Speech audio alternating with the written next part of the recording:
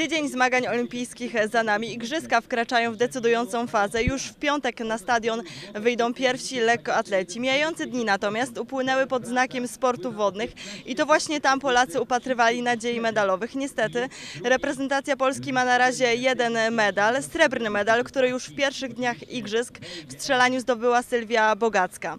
My znajdujemy się na Wyspie Młyńskiej, która na czas igrzysk zwana jest Wyspą Olimpijską i zapraszamy Państwa na krótkie podsumowanie tego, jak spisali się na igrzyskach bydgoszczanie oraz zapowiedź tego, co jeszcze przed nami. W pamięci mamy przede wszystkim środowy występ Mateusza Polaczyka, kajakarza górskiego, który na igrzyskach reprezentuje barwy Zawiszy Bydgoszcz. Mateusz w finałowym przyjeździe zajął czwarte miejsce, jednak medal był naprawdę blisko. Kajakarz górski występ w Londynie może jednak zaliczyć do udanych. Trzeba pamiętać, że ta olimpiada to jego debiut. Niestety zawiedli przede wszystkim wioślarze. Ósemka wagi lekkiej nie zdołała zakwalifikować się do finału. Podobnie było w przypadku czwórki bez sternika wagi lekkiej. Wioślarze musieli przełknąć gorycz porażki, mimo że jeszcze przed rozpoczęciem igrzysk zapowiadali walkę o medale.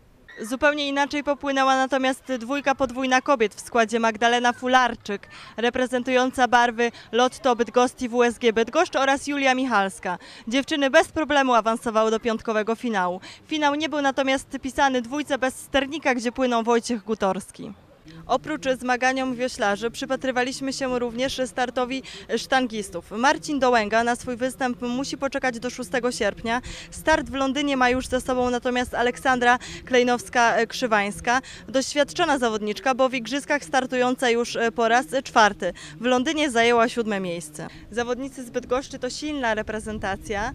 Na starty czekają lekkoatleci i kajakarze. Szans medalowych upatrujemy przede wszystkim w tej drugiej grupie, jednak również lekkoatleci mogą sprawić miłą niespodziankę, tym bardziej, że wśród nich mamy mistrzów. Eliminację skoku o tyczce, gdzie zobaczymy Łukasza Michalskiego i Pawła Wojciechowskiego już 8 sierpnia.